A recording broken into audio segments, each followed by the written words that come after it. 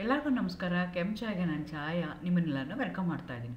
ನಾನು ಒಂದು ಕಾಲೇಜಲ್ಲಿ ಕೆಮಿಸ್ಟ್ರಿ ಪ್ರೊಫೆಸರ್ ಆಗಿ ವರ್ಕ್ ಮಾಡ್ತಾ ಇದ್ದೀನಿ. ನನ್ನ ಇಂಟೆನ್ಷನ್ ಈ ಚಾನೆಲ್ನ ತಗೊಳ ಸ್ಟಾರ್ಟ್ ಮಾಡೋಕ್ಕೆ ಅಂದರೆ ಸಾಧ್ಯ ಆದಷ್ಟು ಕೆಮಿಸ್ಟ್ರಿ ಕೆಮಿಸ್ಟ್ರಿ ರಿಲೇಟೆಡ್ ಟಾಪಿಕ್ನ ಸಿಂಪಲ್ ಆಗಿ ಕನ್ನಡದಲ್ಲಿ ಹೇಳುವಂಥ ಪ್ರಯತ್ನ ಮಾಡ್ತಿದ್ದೀನಿ. ಕೆಮಿಸ್ಟ್ರಿ ಇಷ್ಟ ಇಲ್ಲದಿರೋ ಕೆಮಿಸ್ಟ್ರಿ ಕಡೆಗೆ ಸೆಳೆಯುವಂಥ ಪ್ರಯತ್ನ ನನ್ನ ಮಾಡ್ತಾ ಇದ್ದೀನಿ. ಪರ್ಟಿಕ್ಯುಲರ್ಲಿ ಕನ್ನಡ ಮೀಡಿಯಂ ಹುಡುಗರಿಗೆ ಹುಡುಗರಿಗೆ ಹೆಲ್ಪ್ ಆಗಲಿ ಅಂತ ಕೆಮಿಸ್ಟ್ರಿನ ಕನ್ನಡದಲ್ಲಿ ಹೇಳುವಂಥ ಪ್ರಯತ್ನ ನನ್ನ ಚಾನಲ್ ಮುಖಾಂತರ ನಾನು ಮಾಡ್ತಾ ಇದ್ದೀನಿ. ನೀವೇನಾದರೂ ಬೆಂಗಳೂರು ಸಿಟಿ ಯೂನಿವರ್ಸಿಟಿನಲ್ಲಿ ಫಿಫ್ತ್ ಸೆಮ್ ಓದ್ತಾ ಇದ್ದೀರಾ? ಕೆಮಿಸ್ಟ್ರಿನ one of the major subject ಆಗಿ ತೊಗೊಂಡಿದ್ದೀರಾ ಅಂತಂದರೆ, ಫಿಫ್ತ್ ಸೆಮ್ಮಲ್ಲಿ ಎರಡು ಪೇಪರ್ ಬರುತ್ತೆ, paper five and paper six. Paper ಫೈವಲ್ಲಿ ನಿಮಗೆ ಆರ್ಗ್ಯಾನಿಕ್ ಆ್ಯಂಡ್ ಇನ್ಆರ್ಗ್ಯಾನಿಕ್ ಕೆಮಿಸ್ಟ್ರಿ ಬರುತ್ತೆ. ಅದರದ್ದೇ ಕಂಪ್ಲೀಟ್ ವೀಡಿಯೋಸ್ ನಾನು ಆಲ್ರೆಡಿ ಅಪ್ಲೋಡ್ ಮಾಡಿದ್ದೀನಿ. ಅದು ನಾನು ಆಲ್ರೆಡಿ ನನ್ನ ಚಾನಲಲ್ಲಿದೆ. ನನ್ನ ಚಾನಲ್ಗೆ ಹೋಗಿ ಸಬ್ಸ್ಕ್ರೈಬ್ ಮಾಡಿಕೊಂಡು ಪ್ಲೇ ಲಿಸ್ಟ್ಗೆ ಹೋಗಿ fifth sem N E P, B C U, fifth sem ಅಂತ ಕೊಟ್ಟರೆ ಎಲ್ಲ ವೀಡಿಯೋಗಳು ನಿಮ್ಗೆ ಅಲ್ಲೇ ಒಂದೇ ಕಡೆಗೆ ಸಿಗ್ತಾ ಹೋಗುತ್ತೆ. ಈಗ ಪೇಪರ್ ಸಿಕ್ಸಲ್ಲಿ ಫಿಸಿಕಲ್ ಕೆಮಿಸ್ಟ್ರಿ ಮತ್ತು ಸ್ಪೆಕ್ಟ್ರೋಸ್ಕೋಪಿ ಇದೆ. Physical chemistry videos already upload ಮಾಡ್ತಾ ಇದ್ದೀವಿ. Physical ಕೆಮಿಸ್ಟ್ರಿಯಲ್ಲಿ already ionic equilibria chemical sorry phase equilibria chemical dynamics ಇರ್ಬೋದು ಫೋಟೋ ಕೆಮಿಸ್ಟ್ರಿ ಇರ್ಬೋದು ಆಲ್ರೆಡಿ ಇನ್ ಡೀಟೇಲಾಗಿ ನಾನು ಆಲ್ರೆಡಿ ಅಪ್ಲೋಡ್ ಮಾಡಿದ್ದೀನಿ. ಈಗ ನಾನು ಅಯಾನಿಕ್ ಈಕ್ವಲಿಬ್ರಿಯಮ್ ಶುರು ಮಾಡಿದ್ದೀನಿ. ಅದರಲ್ಲಿ ಇವತ್ತು ನಾನು ಅಪ್ಲೋಡ್ ಮಾಡ್ತಾ ಇರೋವಂಥದ್ದು ಆರನೇ ವಿಡಿಯೋ ಅಪ್ಲೋಡ್ ಮಾಡ್ತಾ ಇದ್ದೀನಿ. ಇವತ್ತಿನ ವಿಡಿಯೋದಲ್ಲಿ ನಾನು degree of hydrolysis and p H for different salts ಅದನ್ನು ಇನ್ ಡೀಟೇಲ್ ಆಗಿ ಡಿಸ್ಕಸ್ ಮಾಡೋಣ ಅಂತ ಅಂದ್ಕೊಳ್ತಾ ಇದ್ದೀನಿ. ಎಗೇನ್ ವೆಲ್ಕಮ್ ಟು ಕೆಂಚಾಯ ನನ್ನ ಚಾನಲ್ನ ಸಬ್ಸ್ಕ್ರೈಬ್ ಮಾಡಿ ಶೇರ್ ಮಾಡಿ. ನಿಮಗೆ ನಾನು ಹೇಳ್ದಂಗೆ ಟೈಪ್ಸ್ ಆಫ್ ಸಾಲ್ಟ್ ನಾಲ್ಕು ಥರ ನಾವು ಸಾಲ್ಟ್ನ ಕನ್ಸಿಡರ್ ಮಾಡ್ತೀವಿ. Depending upon the the type of the solution salt solution you are going to get so ನೀವು ಸಾಲ್ಟ್ ಹೇಗೆ ಸಾಲ್ಟ್ ಹೇಗೆ ಬರುತ್ತೆ? ನ್ಯೂಟ್ರಲೈಸೇಷನ್ ರಿಯಾಕ್ಷನ್ ಆದಾಗ ಸಾಲ್ಟ್ ಬರುತ್ತೆ. ಆ ಸಾಲ್ಟ್ನ ವಾಟರ್ ಹಾಕಿದಾಗ ವಾಟ್ ಸಾಲ್ಟ್ ಸೊಲ್ಯೂಷನ್ ಆಗುತ್ತಲ್ಲ? ಅದಕ್ಕೆ ಸಾಲ್ಟ್ ಹೈಡ್ರಾಲಿಸಿಸ್ ಅಂತ ಹೇಳ್ತೀವಿ. ಎರಡು ವರ್ಡ್ ಹೇಳ್ತೀವಿ. ಒಂದು ನ್ಯೂಟ್ರಲ್ ನ್ಯೂಟ್ರಲೈಸೇಷನ್ ರಿಯಾಕ್ಷನು ಇನ್ನೊಂದು hydrolysis reaction so neutralisation reaction ಮಾಡಿದಾಗ ನಿಮಗೆ ಸಾಲ್ಟ್ ಬರುತ್ತೆ. ಆ ಸಾಲ್ಟ್ ಏನು ಫಾರ್ಮ್ ಆಗುತ್ತಲ್ಲ? ಅದು ಸ್ಟ್ರಾಂಗ್ ಆ್ಯಸಿಡ್ ಮತ್ತು ಸ್ಟ್ರಾಂಗ್ ಬೇಸು ಕಂಬೈನ್ ಆದಾಗ ಬಂದರೆ ಆ ಸಾಲ್ಟ್ಗೆ ನಾವು salt of a strong acid ಅದೇ ಸ್ಟ್ರಾಂಗ್ ಬೇಸ್ ಅಂತ ಹೇಳ್ತೀವಿ. ಅದರದ್ದು ಪಿ ಎಚ್ ಎಷ್ಟಿರುತ್ತೆ ಅಂದರೆ ಸೆವೆನ್ ಇರುತ್ತೆ ನ್ಯೂಟ್ರಲ್ ಆಗಿರುತ್ತೆ. ದ ಸಾಲ್ಟ್ ಸೊಲ್ಯೂಷನ್ ಆ ಸಾಲ್ಟ್ನ ನೀವು ವಾಟ್ರಲ್ಲಿ ಹಾಕಿದಾಗ ಅದರದ್ದು ಪಿ ಎಚ್ ಸೆವೆನ್ ಆಗಿರುತ್ತೆ ನ್ಯೂಟ್ರಲ್ ಆಗಿರುತ್ತೆ. ಅದೇ ಥರ ನೀವು ಸ್ಟ್ರಾಂಗ್ ಆ್ಯಸಿಡು ವೀಕ್ ಬೇಸ್ನ ಕಂಬೈನ್ ಮಾಡಿದಾಗ ಸಾಲ್ಟ್ ಬರುತ್ತಲ್ಲ, ಆ ಸಾಲ್ಟ್ಗೆ ನಾವು salt of a strong acid weak base ಅಂತ ಹೇಳ್ತೀವಿ. ಅದು ಅಸಿಡಿಕ್ ಆಗಿರುತ್ತೆ. ಆ ಸೊಲ್ಯೂಷನ್ನ ಆ ವಾಟ್ ಆ ಸಾಲ್ಟ್ನ ನೀವು ವಾಟ್ರಲ್ಲಿ ಡಿಸಾಲ್ವ್ ಮಾಡಿದಾಗ ಅಮೋನಿಯಂ ಕ್ಲೋರೈಡ್ ಇದೆ. ಅಮೋನಿಯಂ ಕ್ಲೋರೈಡ್ನ ವಾಟ್ರಲ್ಲಿ ಡಿಸಾಲ್ವ್ ಮಾಡಿದಾಗ, ಅದ್ರದ್ದು ಪಿ ಹೆಚ್ನ ನೀವು ಪಿ ಎಚ್ ಎಕ್ಸ್ಪೆರಿಮೆಂಟಲ್ಲೂ ಮಾಡ್ಬೋದು ಅಥವಾ ಪಿ ಎಚ್ ಪೇಪರಿಂದನೂ ಚೆಕ್ ಮಾಡಿದಾಗ, ಅದ್ರದ್ದು P H less than seven ಇರುತ್ತೆ. ಅವಾಗ ಅದನ್ನು ಅಸ್ಟಿಕ್ ಅಂತ ಹೇಳ್ತೀವಿ. ಅದೇ ಥರ ವೀಕ್ ಆ್ಯಸಿಡು ಸ್ಟ್ರಾಂಗ್ ಬೇಸು ಅವೆರಡೂ ಕಂಬೈನ್ ಆದಾಗ ಸಾಲ್ಟ್ ಬರುತ್ತಲ್ಲ ಅದಕ್ಕೆ salt of a weak acid strong base ಅಂತ ಹೇಳ್ತೀವಿ.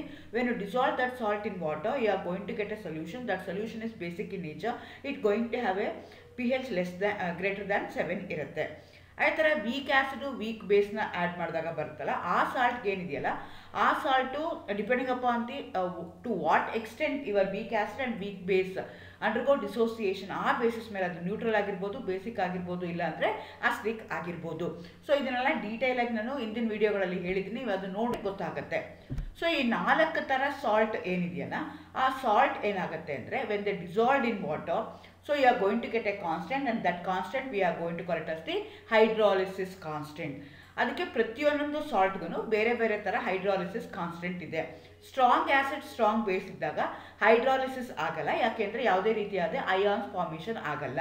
ಸೊ, ಅದು ವಾಟರ್ ಜೊತೆಗೆ ರಿಯಾಕ್ಟ್ ಆಗಲ್ಲ. ಹಾಗಾಗಿ ಅದರದ್ದು ಪಿ ಎಚ್ ಸೆವೆನ್ ಇರುತ್ತೆ, ಅದು ನ್ಯೂಟ್ರಲ್ ಆಗಿರುತ್ತೆ. ಈಗ strong acid strong sorry weak acid strong ಬೇಸ್ನ ತೊಗೊಂಡ್ರೆ ಎಕ್ಸಾಂಪಲ್ ಸೋಡಿಯಂ ಅಸಿಟೇಟ್ನ ನಾವು ತೊಗೊಂಡ್ರೆ, ಇಲ್ಲಿ ಏನಾಗುತ್ತೆ ಅಂದರೆ, ಹೈಡ್ರಾಲಿಸಿಸ್ ಕಾನ್ಸ್ಟೆಂಟ್ ಏನಾಗುತ್ತೆ ಅಂದರೆ K W divided by K A ಆಗುತ್ತೆ.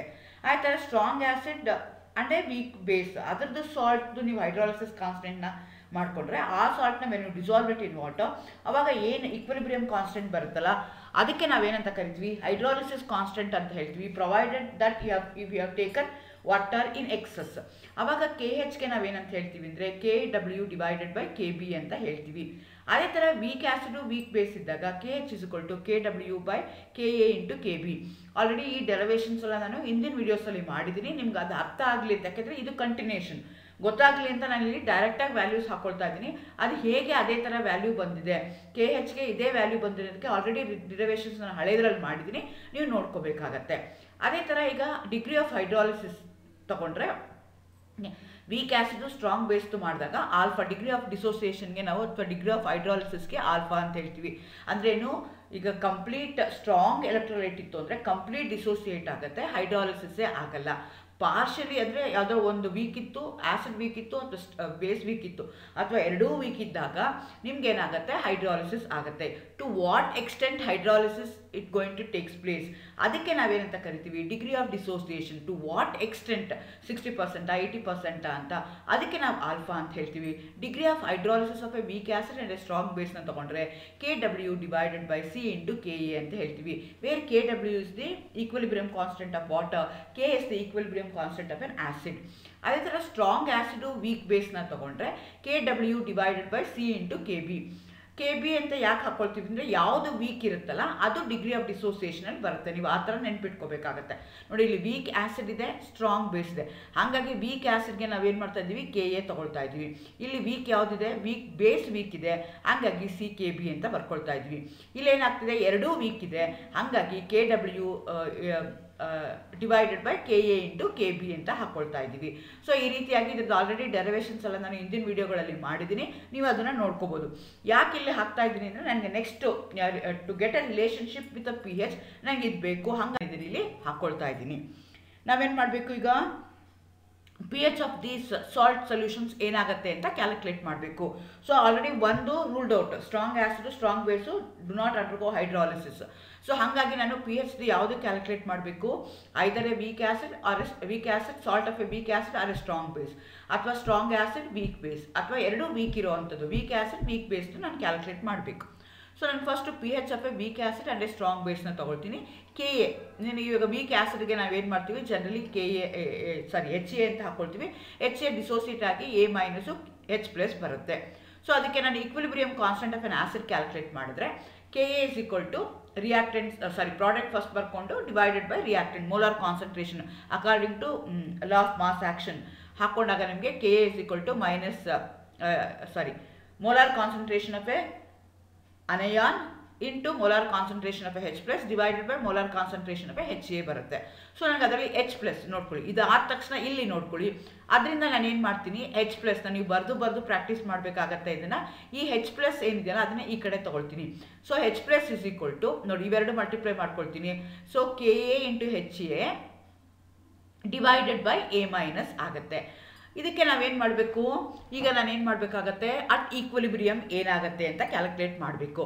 ಅಟ್ ಈಕ್ವಲಿಬ್ರಿಯಮ್ ನೀವೇನು ಮಾಡ್ತೀವಿ? ಡಿಗ್ರಿ ಆಫ್ ಡಿಸೋಸಿಯೇಷನ್ ಎಷ್ಟಾಗತ್ತೆ ಅಂತ ನಾನು ಕ್ಯಾಲ್ಕುಲೇಟ್ ಮಾಡಬೇಕು. ಸೊ ಎಚ್ ಎದು ಡಿಗ್ರಿ ಆಫ್ ಡಿಸೋಸಿಯೇಷನ್ ಎಷ್ಟಾಗತ್ತೆ? ಸಿ ಆಲ್ಫಾ ಆಗುತ್ತೆ. ಅದೇ ಥರ ಎ ಮೈನಸ್ ಏನಾಗುತ್ತೆ? C into one minus alpha ಆಗುತ್ತೆ. ಏನದು ಅಂದರೆ ಏನು? ಪಾರ್ಷಲಿ ಅದು ಡಿಸೋಸಿಯೇಟ್ ಆಗ್ತಾ ಇದೆ. ಕಂಪ್ಲೀಟ್ ಡಿಸೋಸಿಯೇಟ್ ಆದರೆ ಏನಂತ ಕರಿತೀವಿ?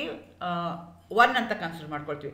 ಕಂಪ್ಲೀಟ್ಲಿ ಆಗಿಲ್ಲ ಪಾರ್ಷಲಿ ಆಗ್ತಾ ಇದೆ. ಹಾಗಾಗಿ ಒನ್ ಮೈನಸ್ ಆಲ್ಫಾ ಅಂತ ನಾವು ಹಾಕ್ಕೊಳ್ತೀವಿ ಅವಾಗ ಏನಾಗುತ್ತೆ? And also alpha one compare ಮಾಡಿದ್ರೆ ಆಲ್ಫಾ ಏನಾಗುತ್ತೆ?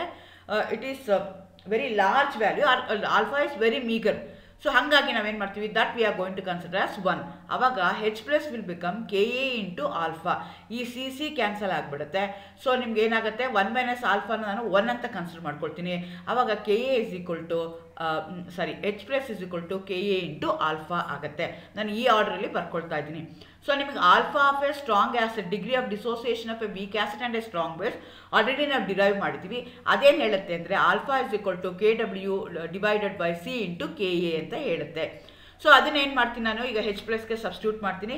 H plus is equal to K A ಈ ಆಲ್ಫಾಗೆ ಏನು ಮಾಡ್ತೀನಿ ನಾನು? ಆಲ್ಫಾ ಜಾಗಕ್ಕೆ K W C K A ಅಂತ ಹಾಕ್ಕೊಳ್ತೀನಿ ಸೊ ನಾನೀಗ ಹೆಚ್ ಪ್ಲಸ್ನ ಕ್ಯಾಲ್ಕುಲೇಟ್ ಮಾಡಿದಾಗ ಏನಾಗುತ್ತೆ? ಈ ಕೆ ಎಗೆ ಏನಾಗುತ್ತೆ? ಇದನ್ನು ನಾನು ಸಿಂಪ್ಲಿಫೈ ಮಾಡ್ಕೊಳ್ಳೋದು ಹೇಗೆ ಮಾಡ್ಕೊಳ್ತೀನಿ ಅಂದರೆ ಕೆ ಎ ಅದ್ರ ಮೇಲೆ ಪವರ್ ಒನ್ ಇದೆ. ಕೆ ಡಬ್ಲ್ಯೂ ಆಫ್ ಅಂತ ಹಾಕ್ಕೊಳ್ತೀನಿ ಅದ್ರ ಪವರು ಸಿಗೆ ಆಫ್ ಅಂತ ಹಾಕ್ಕೊಳ್ತೀನಿ ಕೆ ಎಗೆ ಆಫ್ ಅಂತ ಹಾಕ್ಕೊಳ್ತೀನಿ ಯಾಕೆ ಅಂದರೆ ಕೆ ಎ ಒಂದು ಹೊರಗಡೆ ಇದೆ ಸ್ಕ್ವೈರ್ ರೂಟ್ ಹೊರಗಡೆ ಇದೆ, ಇನ್ನೊಂದು ಸ್ಕ್ವೈರ್ ರೂಟ್ ಒಳಗಡೆ ಇದೆ. ಸೊ ಹಾಗಾಗಿ ಎರಡೂ ಒಂದೇ ಕಡೆಗೆ ತರೋದಕ್ಕೋಸ್ಕರ ನಾನು ಹಂಗೆ ಮಾಡ್ತೀನಿ. ಹಂಗೆ ಮಾಡಿದಾಗ ಏನಾಗುತ್ತಿದ್ದು ಒನ್ ಮೈನಸ್ ಆಫ್ ಅಂತಂದರೆ ಆಫ್ ಆಗುತ್ತೆ. ಆವಾಗ ಏನಾಗುತ್ತೆ? ಕೆ ಎ ಏನಾಗುತ್ತೆ? ಒಳಗಡೆ ಬಂದುಬಿಡುತ್ತೆ. ಸೊ ಹಾಗಾಗಿ ನಿಮ್ಗೆ ಏನಾಗುತ್ತೆ? ಈ ಎಚ್ ಪ್ಲಸ್ ವ್ಯಾಲ್ಯೂ ಏನಾಗುತ್ತೆ? K A into K W divided by C ಆಗುತ್ತೆ. ಸೊ ಈಗ ಅದಕ್ಕೆ ಮತ್ತೆ ನಾನು ಹೆಚ್ ಪ್ಲಸ್ ಮತ್ತೆ ಸ್ಪ್ಲಿಟ್ ಮಾಡಿಕೊಂಡ್ರೆ K A to the power of half K W to the power of half divided by C to the power of half ಆಗುತ್ತೆ. So ನಾನು ಏನು ಮಾಡ್ತೀನಿ? I am going to introduce the minus negative negative logarithm on both the sides ಆವಾಗ log H plus minus log of minus half half half ಪವರಲ್ಲಿದೆ ಹಾಗಾಗಿ ಪಕ್ಕಕ್ಕೆ ಬರುತ್ತೆ. Half log K W minus half K A plus ಯಾಕೆಂದರೆ ಇದು ಕೆಳಗಡೆ ಇದೆ. Minus ಇದು C log of ಅಂದರೆ ಮೈನಸ್ ಆಫ್ ಮೈನಸ್ ಆದಾಗ ಅದು ಪ್ಲಸ್ ಆಗುತ್ತೆ. ಸೊ ಪ್ಲಸ್ ಲಾಗ್ ಸಿ ಆಗುತ್ತೆ. ಮತ್ತೊಂದು ಸಲ ಹೇಳ್ತೀನಿ ನೋಡಿ. ಫಸ್ಟ್ ನಾನು ಏನು ಮಾಡಿಕೊಂಡೆ? ಆಲ್ಫಾನ ಸಬ್ಸ್ಟ್ಯೂಟ್ ಮಾಡಿದೆ. What is alpha alpha of a weak ಅಂದರೆ ಸ್ಟ್ರಾಂಗ್ ಬ್ಯಾಸಿಡ್ ಆಲ್ರೆಡಿ ನಾವು ಡಿರೈವ್ ಮಾಡಿದ್ದೀವಿ ಆ ವ್ಯಾಲ್ಯೂ ನಾನು ಏನು ಮಾಡ್ತಾ ಇದ್ದೀನಿ? ಇಲ್ಲಿ ಹಾಕ್ಕೊಳ್ತಾ ಇದ್ದೀನಿ. H plus is equal to K A into alpha ಅಲ್ಲಿಗೆ ಸಬ್ಸ್ಟ್ಯೂಟ್ ಮಾಡ್ತಾ ಇದ್ದೀನಿ. ಸಬ್ಸ್ಟ್ಯೂಟ್ ಮಾಡಿಕೊಂಡಾಗ ನನಗೆ ಹೆಚ್ ಪ್ಲಸ್ ಏನು ಬಂತು ಅಂದರೆ K A into K W divided by C to the root ಇದೆ. ಸೊ ನನಗೆ ರೂಟ್ ಇದ್ದಾಗ ಅದನ್ನು ಸಿಂಪ್ಲಿಫೈ ಮಾಡ್ಕೊಳ್ಳೋಕೆ ಕಷ್ಟ ಆಗುತ್ತೆ ಅಂತ ರೂಟ್ ಇರೋ ಕಡೆಗೆಲ್ಲ ಏನು ಮಾಡಿದೆ? ಅದನ್ನು ಪವರ್ ಥರ to the power of half ಅಂತ ಹಾಕ್ಕೊಂಡೆ so K A to the power of half K A W to the power of half divided by C to the power of half ಅಂತ ಹಾಕ್ಕೊಂಡೆ so I am going to introduce the minus logarithm on both the sides ಅವಾಗ ಇದೇನಾಯಿತು? Minus log H plus ಆಯಿತು. ಯಾಕೆ minus log ತೊಗೊಳ್ತಾ ಇದ್ದೀನಿ? ನನಗೆ P H ಬೇಕು. You know that P is equal to minus log H plus so ಹಾಗಾಗಿ ನಾನು ಏನು ಮಾಡ್ತಾ ಇದ್ದೀನಿ? ಮೈನಸ್ ಹೆಚ್ ಪ್ಲಸ್ನ ಹಾಕ್ಕೊಂಡೆ ಎರಡು ಕಡೆಗೂ ಹಾಕ್ಕೊಂಡಾಗ minus log K W minus log K A plus log K C ಆಯಿತು. ಯಾಕೆಂದರೆ ಕೆ ಸಿ ಏನಾಗುತ್ತೆ? ನೀವು ಮೇಲ್ಗಡೆ ತೊಗೊಂಡಾಗ ಮೈನಸ್ ಆಗುತ್ತೆ. ಮೈನಸ್ ಆಫ್ ಮೈನಸ್ ಏನಾಯಿತು? ಪ್ಲಸ್ ಆಯಿತು. ಅಥವಾ ಅದನ್ನು ನಾನು ಏನು ಮಾಡ್ತೀನಿ? P H minus log of H plus ಏನಾಗುತ್ತೆ? ಪಿ ಹೆಚ್ ಆಗುತ್ತೆ. ಅದೇ ಥರ ಮೈನಸ್ ಲಾಗ್ ಕೆ ಡಬ್ಲ್ಯೂ ಏನಾಗುತ್ತೆ? ಪಿ ಕೆ ಡಬ್ಲ್ಯೂ ಆಗುತ್ತೆ. ಅದೇ ಥರ ಮೈನಸ್ ಲಾಗ್ ಕೆ ಏನಾಗುತ್ತೆ? ಪಿ ಕೆ ಎ ಆಗುತ್ತೆ. ಸೊ ಹಾಗಾಗಿ ಏನಾಯ್ತು ನಿಮಗೆ? P H is equal to half P K W plus half P K A plus half log C with respect to weak acid ಅಂದರೆ strong based ಅದಾಯಿತು. ಈಗ ಏನು ಮಾಡ್ತೀನಿ ನಾನು? ವೀಕ್ ಬೇಸು ಸ್ಟ್ರಾಂಗ್ ಆ್ಯಸಿಡ್ನ ತೊಗೊಳ್ತೀನಿ. ಸೊ ಹೆಚ್ ಬಿ ಪ್ಲಸ್ ಏನಾಗುತ್ತೆ? Water ಜೊತೆಗೆ ರಿಯಾಕ್ಟ್ ಆದಾಗ ಬಿ ಓ ಹೆಚ್ ಮತ್ತು ಹೆಚ್ ಪ್ಲಸ್ನ ಕೊಡುತ್ತೆ. ನಾನು ಯಾಕೆ ಇಲ್ಲಿ ಹೈಡ್ರಾಲಿಸಿಸ್ ಆಫ್ ವಾಟರ್ನ ತೊಗೊಳ್ತಾ ಇದ್ದೀನಿ ಅಂತಂದರೆ, ನನಗೆ in terms of H plus ಬೇಕು. ಹಾಗಾಗಿ ನಾನು ಏನು ಮಾಡ್ತೀನಿ? ಈ ಥರ ತೊಗೊಳ್ತಾ ಇದ್ದೀನಿ. ಹೇಗೆ ಹಿಂದ್ಗಡೆ ಸಬ್ಸ್ಟ್ಯೂಟ್ ಮಾಡಿದ್ನಲ್ಲ, ಅದೇ ಥರ ಮಾಡ್ತೀನಿ. K B is equal to B O H K H plus divided by B plus ಅಂತ ಹಾಕೊಳ್ತೀನಿ. H plus is equal to K B into alpha ಬರುತ್ತೆ. ಸೊ ಆಲ್ಫಾ ಅಂದ್ರೇನು degree of dissociation degree of association of a weak acid and a strong base ನಾನು already derive ಮಾಡಿದ್ದೀನಿ. ಅದನ್ನು ಇಲ್ಲಿ substitute ಮಾಡ್ಕೊಳ್ತೀನಿ. Alpha is equal to K W divided by C into K B so H plus ಇದೆಯಲ್ಲ, ಅದನ್ನು ಏನು ಮಾಡ್ತೀನಿ? Last time ಮಾಡ್ದಂಗೆ ಸಬ್ಸ್ಟ್ಯೂಟ್ ಮಾಡ್ತೀನಿ. ಆಲ್ಫಾ ಜಾಗಕ್ಕೆ ಅವಾಗ ನಿಮಗೆ H plus is equal to K B to the power of half K W to the power of half divided by C half ಆಯಿತು. ಈ ಕಡೆ ಇಲ್ಲೂ ಏನು ಮಾಡ್ತೀನಿ? ಎಕ್ಸಾಕ್ಟ್ಲಿ ಲಾಸ್ಟೇ ಲಾಸ್ಟ್ ಡಿರವೇಷನ್ ಮಾಡ್ದಂಗೆ minus logarithm on both the sides apply ಮಾಡ್ತೀನಿ. Minus log H plus is equal to half log K W half K B half K C ಬರ್ತಾ ಇದೆ ನಿಮಗೆ. ಸೊ ನಾನು ಇದನ್ನೇನು ಮಾಡ್ತಾ ಇದ್ದೀನಿ? ಅಲ್ಲಿ ಹೇಗೆ ಸಬ್ಸ್ಟ್ಯೂಟ್ ಮಾಡಿದ್ದೀನಿ ಅದೇ ಥರ ಸಬ್ಸ್ಟ್ಯೂಟ್ ಮಾಡ್ತೀನಿ.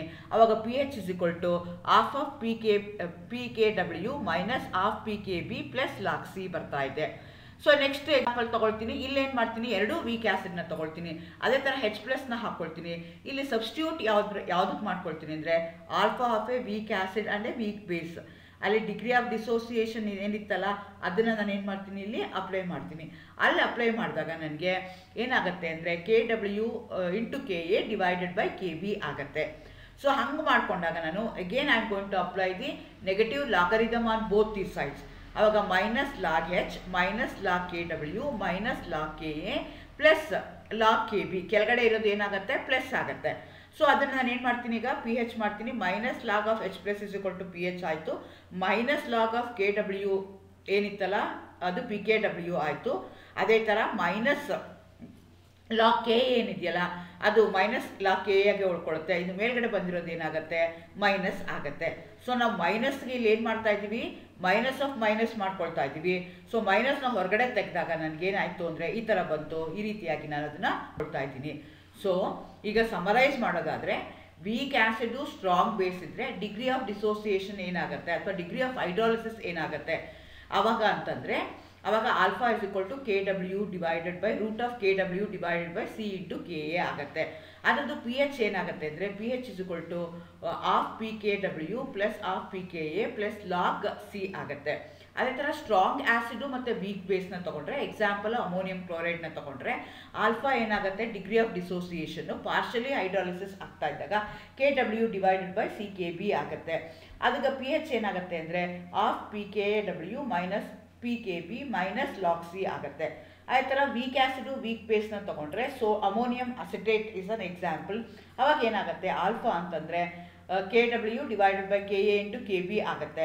ಅವಾಗ ಪಿ ಎಚ್ ಏನಾಗುತ್ತೆ ಅಂದರೆ half half P K sorry half of P K W minus half of P K A minus log K B ಆಗುತ್ತೆ. ಸೊ ಈ ರೀತಿಯಾಗಿ ನೀವು ಇದರ ಮೇಲೆ ಪ್ರಾಬ್ಲಮ್ಸ್ ಕೊಡ್ತಾರೆ.